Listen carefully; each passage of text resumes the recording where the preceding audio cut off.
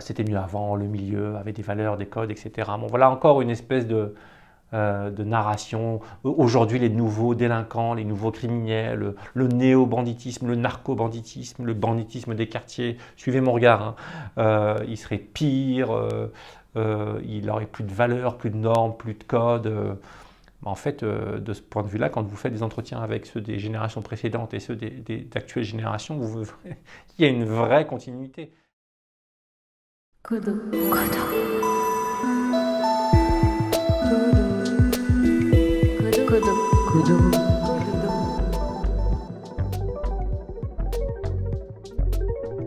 Je m'appelle Marwan Mohamed, je suis actuellement chercheur au CNRS euh, en sociologie, euh, au centre Maurice Alvax, là où on est actuellement.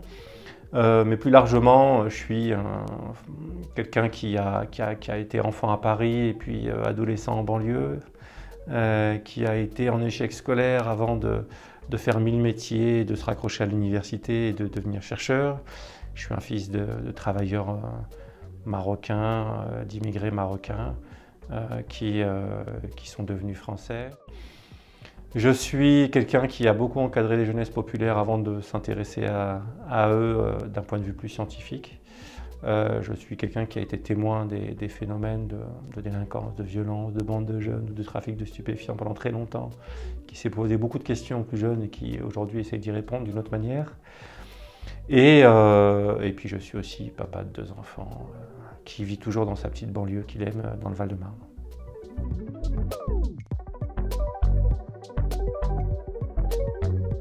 inégalité, ségrégation, déviance, normes et, racisme.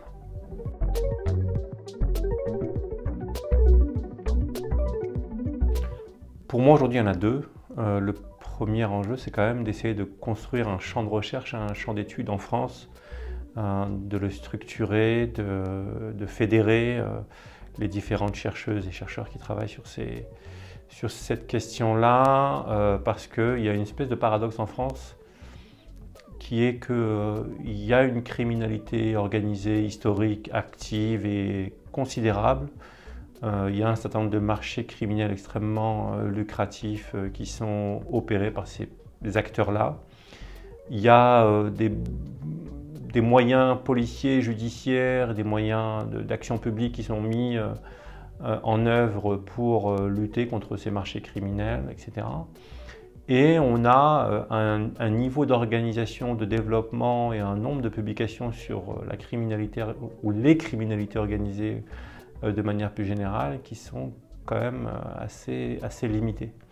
J'ai dit les criminalités organisées parce que dans mon approche, j'opère pas a priori de distinction entre les différents marché criminel organisé, un marché criminel organisé et structuré, c'est euh, un, espace où un certain nombre de transgressions rémunératrices, la plupart du temps, euh, sont, organisées afin de, dégager des bénéfices, de manifester une forme de pouvoir, etc.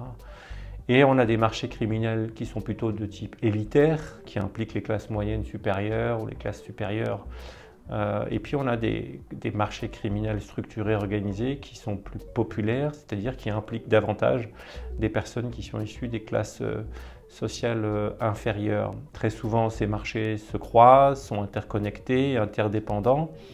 Mais c'est vrai que dans l'image, et la question de l'image et des représentations qu'on a du crime organisé, notamment en France, il y a cette idée que le crime organisé, c'est d'abord le crime organisé de type populaire.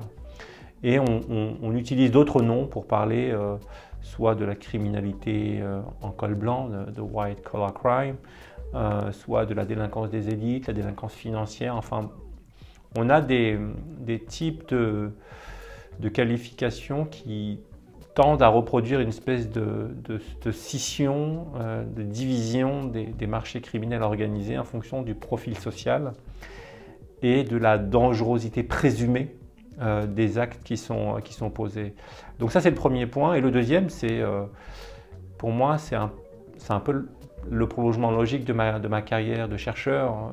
Ça fait plus de 15 ans maintenant que je m'intéresse aux, modalités de passage à l'acte euh, délinquant, à la construction de la norme, à l'évolution du droit pénal, politique publique de lutte, politique de sécurité, de prévention, etc. Et, et, et je me suis d'abord intéressé à la petite délinquance de voie publique à travers le phénomène des bandes. Là, je termine plus de 6-7 ans de recherche de terrain sur la question du trafic de stupéfiants, mais à tous ses échelons du petit guetteur en bas de chez ma mère euh, dans le Val-de-Marne à, à, El Chapo, Joaquin Guzman Loera, pour, enfin,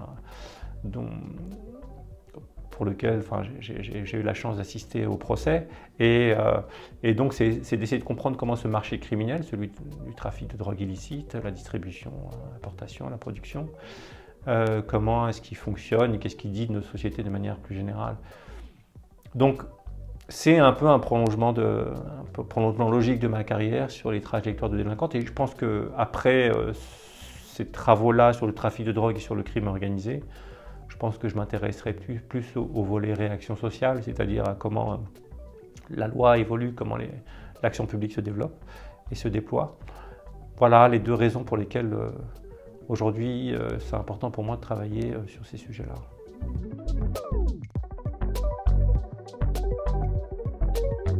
En fait, je pense que quand on travaille sur un sujet comme ça, qui est extrêmement euh, traité au cinéma, qui alimente euh, une production euh, journalistique, pas trop scientifique, mais en tout cas journalistique, fictionnelle, même théâtrale, de la, une telle production,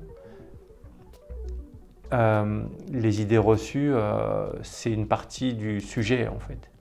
Et c'est une partie du sujet pour soi-même. C'est-à-dire que la première étape qui a été la mienne, ça a été de, travailler sur mes propres idées reçues, mes, propres fantasmes, mes peurs, et euh, de, travailler sur la manière dont je me représentais euh, cette question du grand banditisme, de la criminalité organisée. Mais c'est valable pour tous les sujets. C'est valable pour tous les sujets.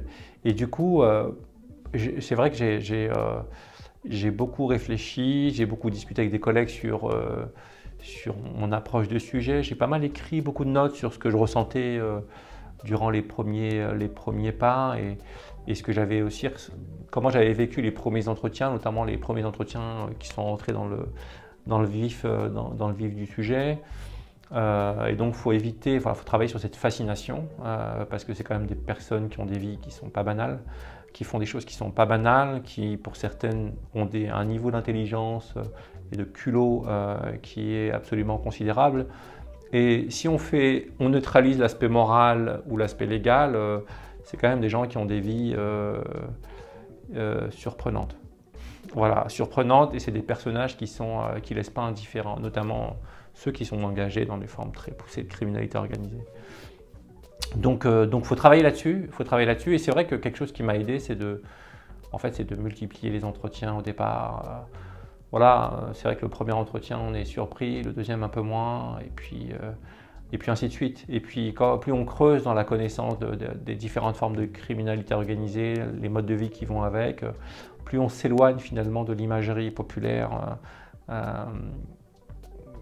relayée par différents canaux, que ce soit le cinéma, le cinéma est un peu le cinéma français, mais même le cinéma nord-américain est très stéréotypé en matière de, criminalité organisée.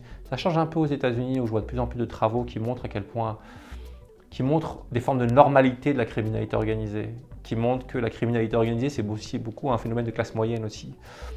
Euh, pas seulement dans le profil des personnes qui s'engagent, mais dans le mode de vie des personnes qui sont engagées dans la criminalité organisée l'image du, chef mafieux flambeur avec le pouvoir, qui a le pouvoir de vie ou de mort sur les uns et les autres, cette image-là qu'on retrouve beaucoup, y compris dans les clips de rap, et cette image de celui qui est en place, qui en impose, qui a du pouvoir, qui a...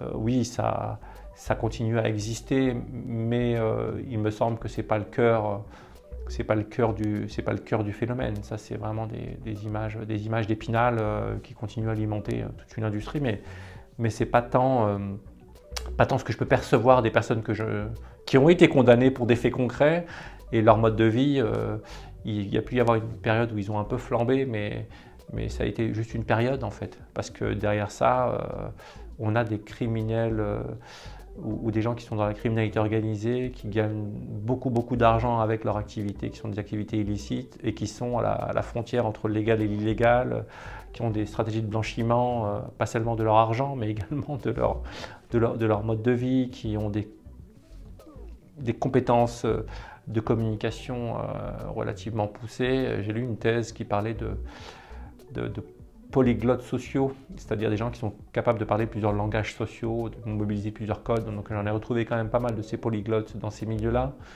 Donc voilà, moi je, je, mon regard change un petit peu et moi ce qui m'intéresse c'est la vie ordinaire des gens qui sont dans la criminalité organisée.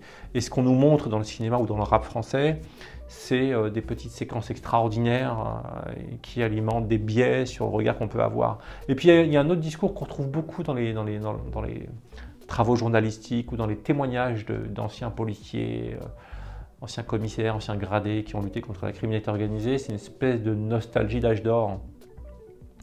Euh, c'était mieux avant, le milieu avait des valeurs, des codes, etc. Bon, voilà encore une espèce de, euh, de narration. Aujourd'hui, les nouveaux délinquants, les nouveaux criminels, le, néo-banditisme, le narco-banditisme, le banditisme des quartiers, suivez mon regard, hein. euh, il serait pire, euh, il n'aurait plus de valeurs, plus de normes, plus de codes. En fait, de ce point de vue-là, quand vous faites des entretiens avec ceux des générations précédentes et ceux des, actuelles générations, vous, il y a une vraie continuité. Et donc, je pense qu'il y y a ce récit-là avec lequel il faut être en mesure de prendre des, des, précautions et de, les mettre absolument à distance parce que c'est quelque chose qu'on retrouve, euh, mais y compris dans les propos de magistrats des fois, euh, d'avocats, qui alimentent cette, idée que le, banditisme, la criminalité organisée, c'était mieux avant. Ça change, mais en fait les modes opératoires, les finalités, le profil des personnes est quand même globalement, globalement stable et il y a peut-être moins de morts aujourd'hui liées au règlement de compte que dans les années 70. Vous voyez, quand on, écoute un peu nos collègues qui travaillent sur les homicides, ils montrent qu'il y a quand même une baisse. Donc euh, voilà. pour résumer, euh, oui, je, peux regarder des fictions, lire ou écouter, regarder des clips de rap, de mise en scène. Hein, D'abord, les clips de rap, la criminalité qui est mise en scène dans les clips de rap, clips de rap c'est plutôt de la criminalité. Euh, euh, d'espace public. C'est le trafic dans le haut, beaucoup, c'est le trafic de stupes à l'échelle des quartiers, c'est de la distribution, machin.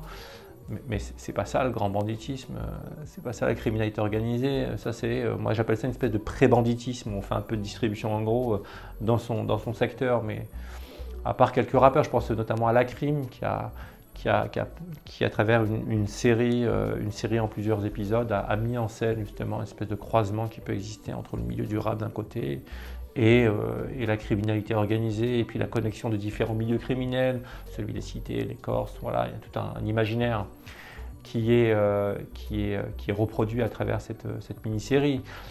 Mais j'ai envie, ce que j'observe moi en tant que chercheur pour l'instant, et je, l'écrirai, je l'analyserai, c'est d'abord la vie ordinaire et les pratiques ordinaires et quotidiennes. Euh, et les pratiques quotidiennes, c'est pas d'avoir 150 euh, femmes euh, avec des formes plastiques, en petite tenue, des bouteilles de champagne de partout, dans une piscine à bulles. Enfin, voilà, c'est. C'est pas ça la vie des. c'est pas forcément ça.